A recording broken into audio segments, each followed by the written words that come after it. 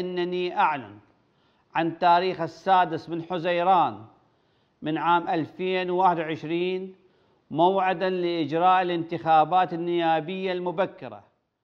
حتى بعد أن تم تحديد موعد دقيق للانتخابات البرلمانية المقبلة ما تزال الخلافات حول المتفق عليه هي سمة السنوات السبع عشرة الماضية في العراق. ولكن هذه المرة الخلاف بين الأحزاب السياسية جوهره تقاسم أو تقسيم الدوائر الانتخابية في العراق.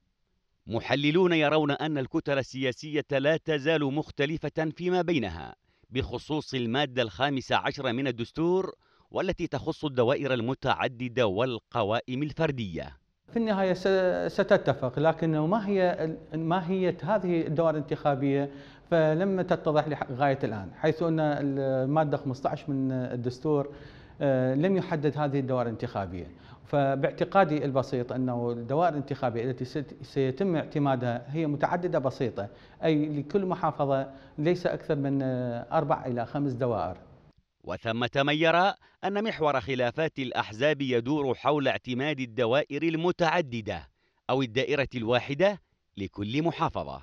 كتل سياسية آه، مختلفة فيما بينها بخصوص المادة 15 من تعديلات قانون الانتخابات المختص بالدوائر المتعددة. لكن البعض من آه، يطالب بتطبيق هذه المادة في الدوائر المتعددة بكل جزئياتها وهذا متعذر في الوقت الحاضر بل تحتاج إلى آه، أكثر من سنتين.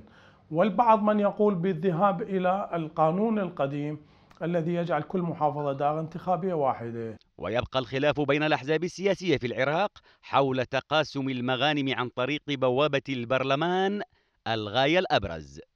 كيف سينتهي هذا الخلاف؟ وإلى أي النتائج سيصل؟ حزيران المقبل.